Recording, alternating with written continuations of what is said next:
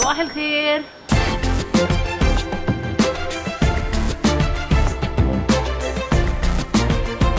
استنوني في عمايل إيديا. إن شاء الله هنبدأ موسم جديد مع بعض. هتحبوه جدا في انتظار البيبي.